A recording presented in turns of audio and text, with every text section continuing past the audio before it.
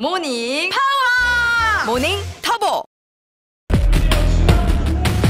Welcome back, guys. That was a pretty quick break.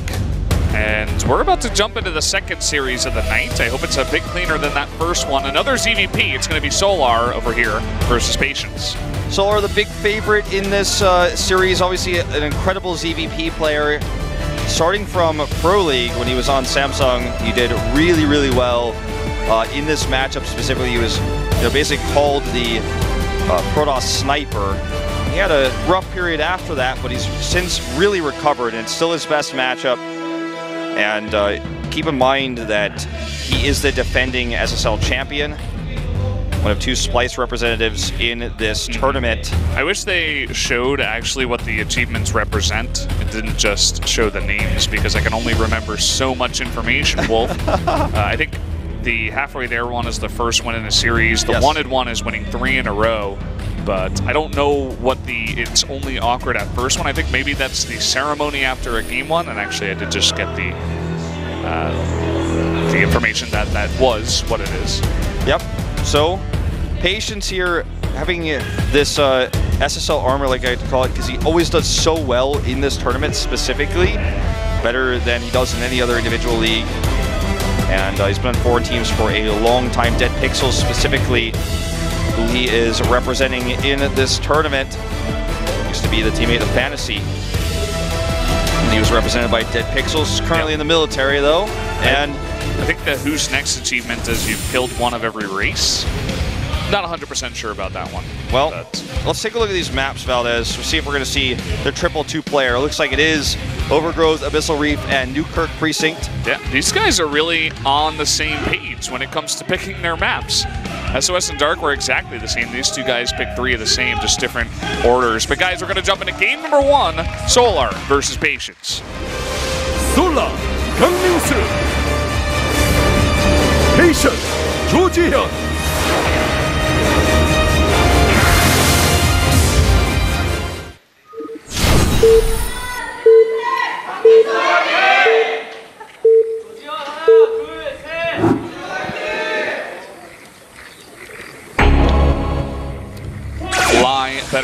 Jin Air. Thanks, Jin Air. Down here in the bottom left, the purple Zerg player. It is Splyce's Solar. And his opponent to the top right in yellow is Dead Pixels Patience. Starcraft from Australia. P.S. Hi, Nathan. wonder if he's talking about Nathanias. Maybe. not.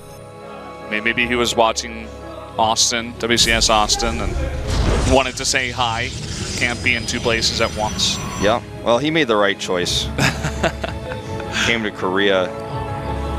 I've actually never been to uh, to Texas. Neither have I. The home actually. of Reed Rapid Me- uh, Casting Melton. Yeah. It's kind of funny. I, I've been to Atlanta, Georgia, with Yeah. you, actually. Um, have not been to Kansas, which is where Tasteless is from. But uh, I have been to New Hampshire, which is where Artosis is from. So I, I have two other places to go. Just never been- Texas and Kansas. I've never been to Australia though, so Yeah, me neither. Maybe we could add that to our bucket list. sure. I'd love to go someday to dance with the kangaroos. That's what they do down there, I think. maybe I- That's what we heard from Moonglade, at least. Maybe That's I the would. Uh, impression I got, at least. I would love to meet Nathan. if I ever if I ever go, maybe he could show me around. Yeah. Just got to talk to that fan. I'm sure he'll hook you up. Yeah, absolutely. Yeah. There was actually a Reddit post I saw one time with two guys with the exact same name, and they actually met up and hung out. They played like drinking games together and had a good night on the town. I don't know. It was pretty cool. that's you know that's that's the end of that story. Like They found cool each other on Facebook, and they they did that. Haven't met anyone else with the name Brendan Valdez, although there Well, was He, uh, he, his girlfriend has no idea what's going on. for the Swarm. O Gaming people. Yeah. I love O Gaming. I don't understand French, but I still enjoy their content. Yeah. I know uh, Coca's out here studying Yeah. and uh, Funko, super cool guy. I've met. uh, Those are actually the only two guys I've met from Go Gaming, I think. Uh, Pomf et Thud, spent a lot of time with them in Paris. Very stand-up dudes. They're probably either doing it right now or will eventually be broadcasting this in French. I don't know if they have the audio on. Maybe they'll know that we gave Whoa. a shout out. Fly better, fly. Jin L. big fan.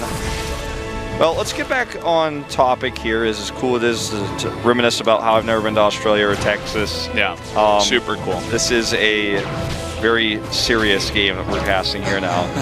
it's going to be an Oracle opening from Patience. Adds the two gateways afterwards.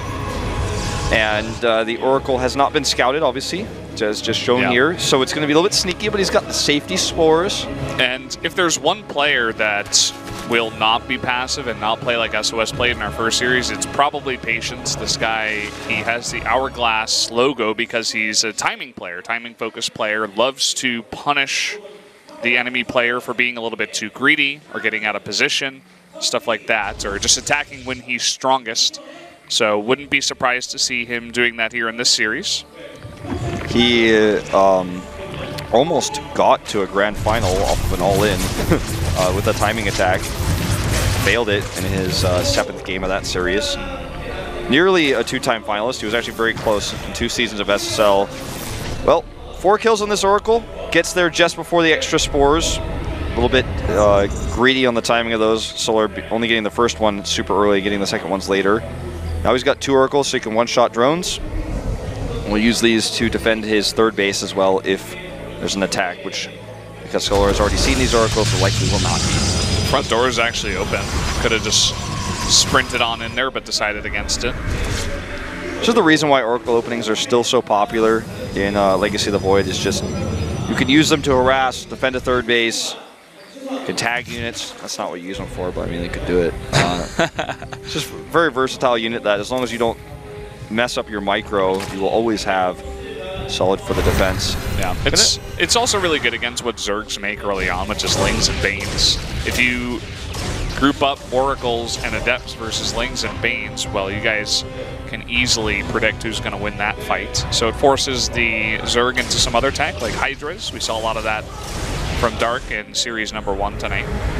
It looks like Solar's going to go into the Banes first. The layer is almost done, so we can start the Hydra Den fairly soon if that's what he's going to be doing. Just continuing to harass here as best as he can.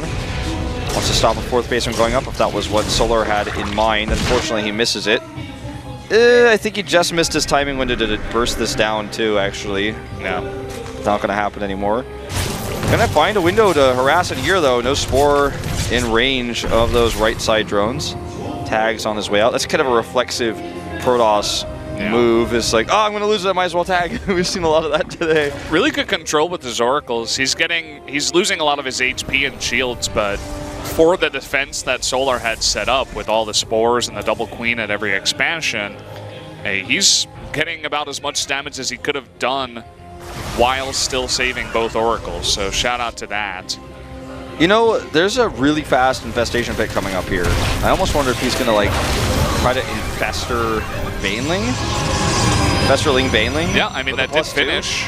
And he's got Painling speed on the way. Yeah, he uh, isn't starting past New glands or anything like that. Yeah, no infestors or either. a hive. So, not entirely sure what the plan is with that infestation pit. But if he's just trying to rush, oh, Swarm hosts. okay. I was gonna say if he wants to rush ultras, that's interesting. But he's gonna rush the swarm hosts out with this, and we'll see if that uh, flying Locust attack will get him a kill. He's probably gonna go for the main Whoa. base.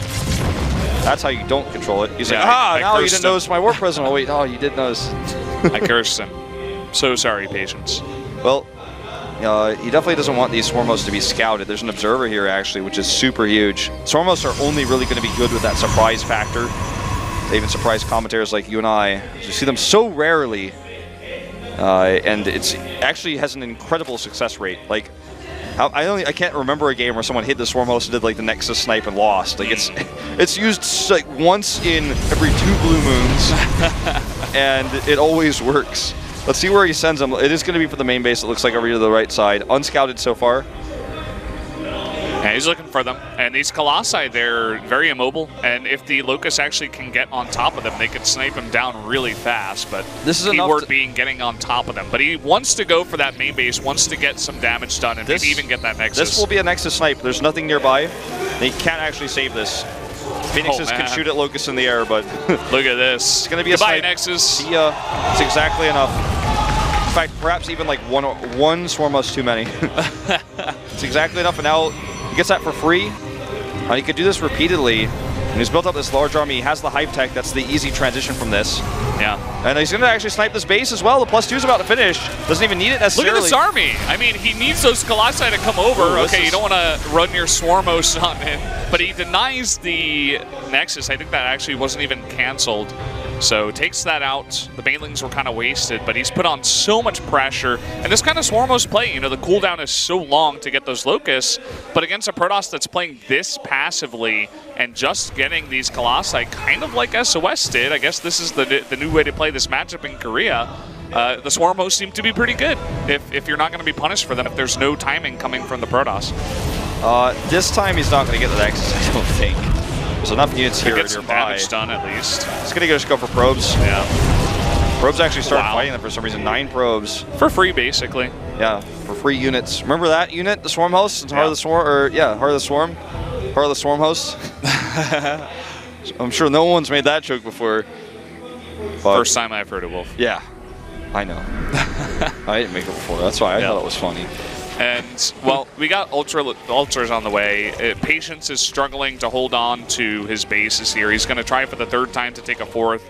And Solar, he's just had the free yellow brick road to just skip on down to this really nice Ultralisk tech. And there's not much that Patience has been able to do about it. Yellow Brick Road for some reason. oh, the Purple Creep Road. Yeah. Well, I mean, this is a really dire situation for Patience. He lost so much from losing his main base, even though that was almost mined out. Still, a lot of hurt mining, uh, struggling to hold on to this fourth. And now it's this army that has ultra attack, plus three armor. It's plus two attack as well. Or sorry, not plus three armor. The Carapace armor coming up, and the plus one armor will kind of make it plus three um, in terms of armor values. Taking the gold base, and Patience has a lot of Colossi try to potentially poke this, but Vipers are coming out. He knows that they're going to be out soon. There's already one. So even trying to poke that base from behind is so risky. If he gets yanked, he is done for with these Colossi. And Patience kind of needs to make that big Immortal switch. It's not going to be easy to do, but if he could buy some more time, that's his best option. He's making it now, two Immortals already on the way, but it's going to be his first two, and he realistically needs like six or more to be able to deal with these Ultras reliably.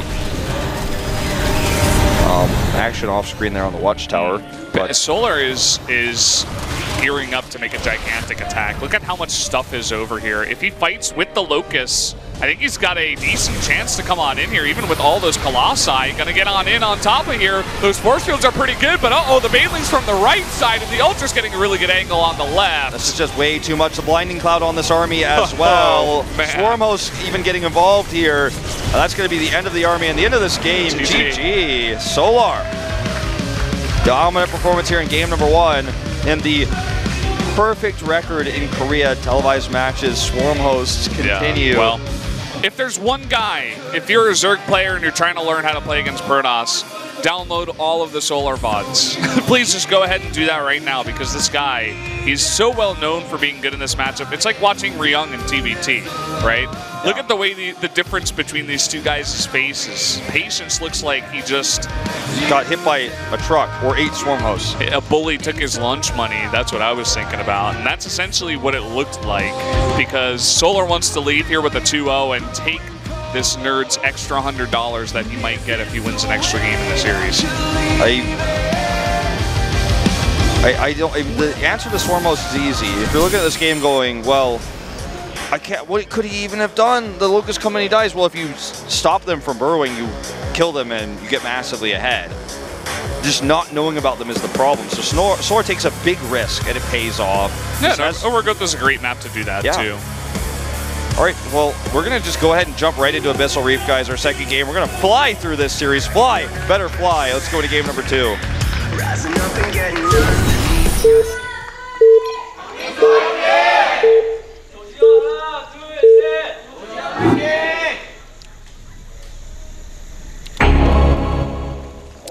Here we go, Abyssal Reef, game number two. Down here in the bottom right, the purple Zerg player from Splyce it is Solar. And up to the top left in yellow, it is Patience Dead Pixels. Abyssal Reef, a much larger map than the last one. Could see Swarmhouse. Uh, I don't think we will, but definitely uh, a map where probably going to see a longer game, considering that Solar's not going to do that again, and the map size. You might see Patience do a timing attack. This new Colossus style is pretty cool. I actually like it. Feels very familiar. It's back from the old days. And Colossus kind of disappeared from the meta mostly because of how strong Vipers are against them. But it seems like, in theory, especially when you're kind of even in the game, they're so powerful with their AoE uh, before Vipers are out. But the players that we've seen today, both Patience and SOS, are unable to really use them to have a killing blow before the Vipers kind of just straight up counter them. It wasn't the Vipers that won the game for Solar last game. It was really just the big engage with his larger army, the economic advantage he had. But uh, we'll see if he goes for the Colossi again, if this is going to become a thing, or if it's just really going to fade back away. Next is going to come up here. It's going to be a Gate Nexus core build. So he will transition after that. We'll see if he goes Stargate again. We got a lot of fan signs tonight. Saying that our announcer, Suhyun, is really pretty. I Said something about art. Young Young too. Our former announcer, who has officially game traded, Game trader- trader? tradered. Just like you, at least you still do both, though. I'm just half a game trader. No. You LCK people. The biggest game trader of all, by the way. I cheat on both games at, the, at currently at the same time. The biggest game trader of all is Kanata. He's still here. I'm looking at him right now, but he said he would never, ever cast LCK. Now it's something else does. I guess he's not casting it technically. Yeah, he, he talks about it. I love to just make fun of him for that. I don't care. I, it's good to love all games for sure. I just, I love for him to be like, no, never. And I was Yeah, doing it. His It's reaction so funny is to me. Because he, he was he's definitely one of the, the super diehard StarCraft guys. You got a lot of those Uh, over in Korea, and there there is a good reason, right? Kanata's in a Pro League intro. He was really good at StarCraft 1. He's a pro gamer. Yeah. And it's actually I think in multiple intros. I know one of my favorites. He's in it. But uh, we're gonna see the Stargate build coming up here for Patience, and it's just gonna go Oracles and probably use that same, you know, Oracle to defend third base strategy. See if Solar has a different way to smash it this time. On this bigger map, he, like Dark, will go into the Overlord speed for extra scouting, kind of a necessary evil.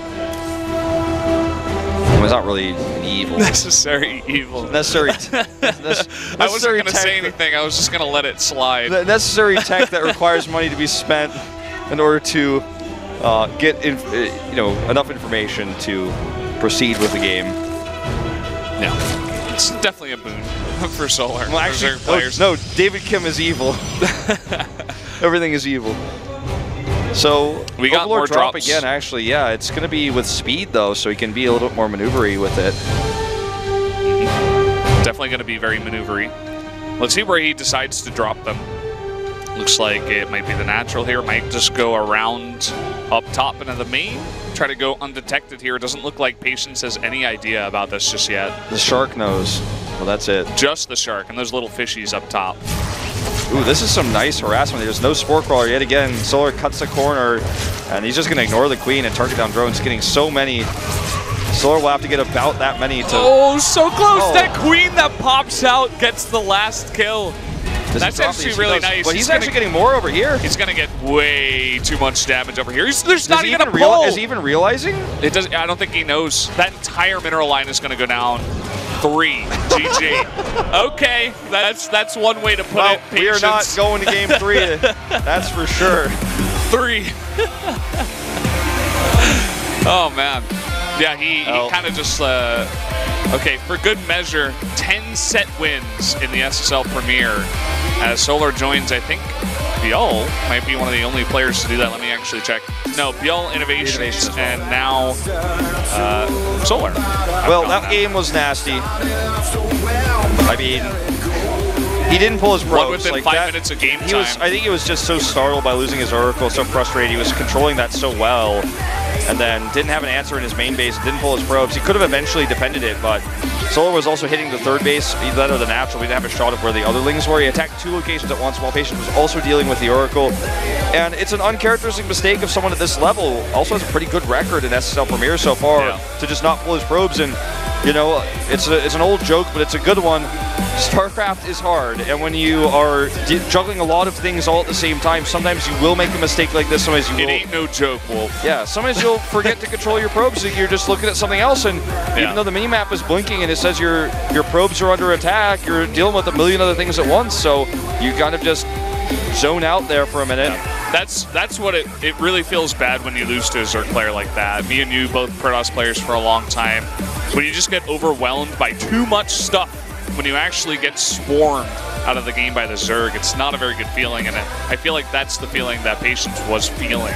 But anyway, enough about feelings. We're going to get to hear some straight hard facts here from Solar, who will be interviewed by Engine, I believe that is. Yep, it's engine over there, and uh, I'm going to translate that for you guys.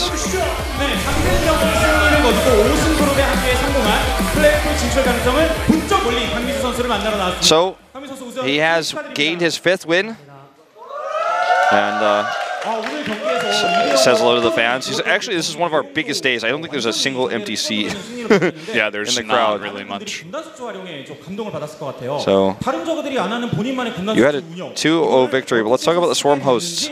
그리고 나만의 또 어떤 운영 노하고 있는지 살짝 Why did you come up with this strategy specifically for game number one? 제가 연습하면서 프로토스 선수들 이기기 좀 힘들어서 뭐 할까 뭐 할까 계속 생각하다가 이렇게 나온 거고요. So the the practicing while, while practicing for Pros, he's like, "Oh, Pros is tough. So what am I? What was I gonna do?"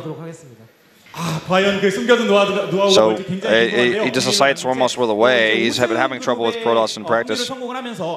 And uh, just wanted to keep it a secret, which he did, and then killed the Nexus, which is what we were talking about is the key. If you don't scout it, it will kill your Nexus. There isn't much counterplay there. So in the playoffs, who are you most concerned about? Who are you looking out for? Well, he got bopped by ByuL 0-2 just last week, so that's the guy I'd be scared of. He said, I don't really want to...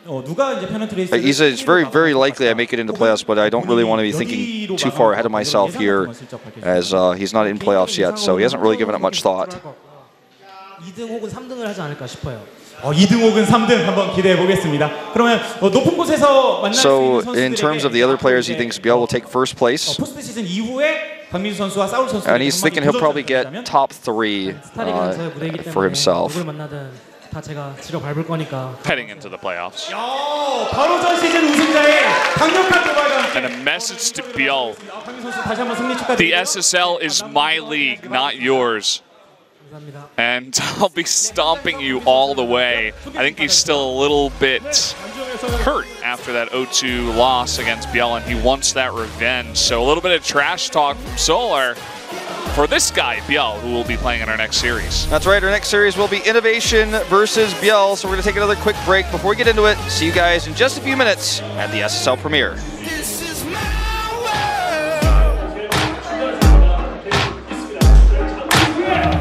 you feel it?